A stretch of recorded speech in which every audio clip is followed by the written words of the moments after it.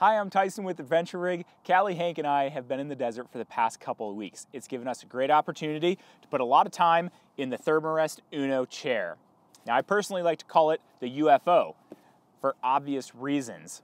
Now, there are a lot of qualities about this chair that I like. To start with, this case. It's hard plastic. Now this case serves a couple different functions. It's the base of the chair and it also makes into a tabletop, which I'll get to later. It's really easy to set this up. Inside is everything that you're gonna need. Also, nice set of instructions in case you happen to forget how to set it up. One thing that I like is everything fits in here easily. You're not cramming anything back in. It's not something that when you take it apart, you're thinking, man, there's no way I'll ever get this back together. There's plenty of room. You could probably throw in a few extra items if you wanted to. The poles are held in with a simple strap that keeps them in place and you have four poles. They're basically really similar to a tent pole. They're really thick though. This chair will hold up to 250 pounds. So these aluminum poles are maybe just a little bit thicker than what you'd have on a normal tent to support that kind of weight. To start with, you're just gonna close the lid back up and strap the front of it. Once it's strapped, just make sure that both sides are clipped into place.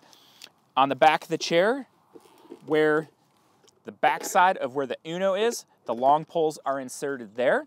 And then where you have the word Uno, that's where the shorter poles go.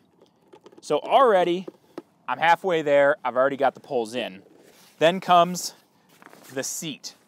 This is simple enough.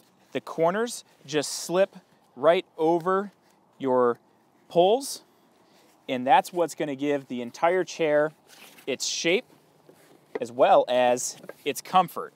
So there we have it. This chair is all together. Now, it weighs two pounds, three ounces as it sits just like this, everything packed in there.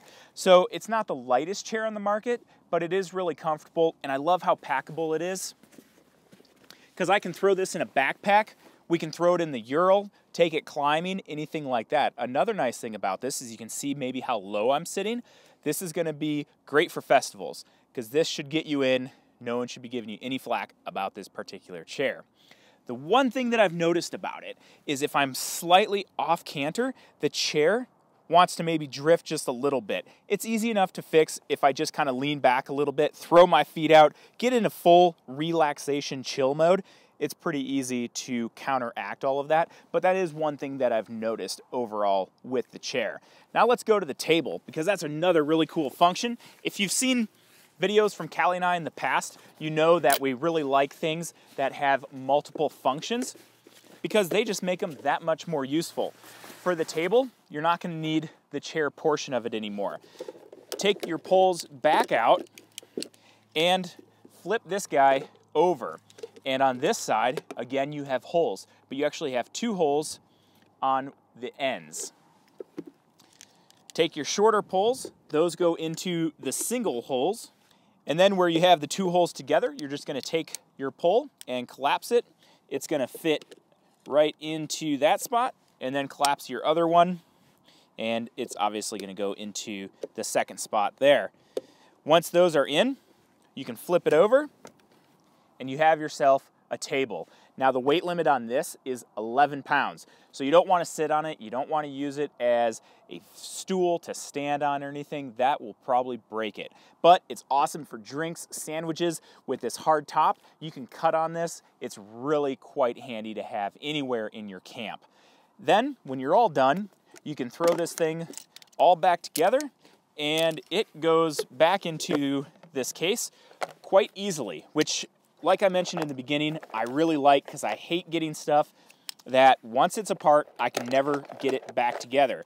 So just collapse all the poles back up, stick them in their little bungeed spot there with the seat back. All I'm gonna do is fold it up halfway nicely. And just like that, I'm set to go back on the trail. This is a quick and simple chair that works really well. And again, I like the shape of it a lot. We're gonna be going up to the Boundary Waters on a canoe trip, and I think this is gonna be the perfect chair to just slip in our backpack or really slip anywhere with its slim shape and take on any adventure that you may be going on. Again, this is made by Thermarest. It's called the Uno chair, something I like to call the UFO. Thanks for watching. If you guys have any questions or comments, leave them below. We'll get back to you. If you guys are ever curious about where Callie and I are, follow us on Instagram and Facebook at Adventure Rig. Thanks for watching. I'm Tyson with Adventure Rig.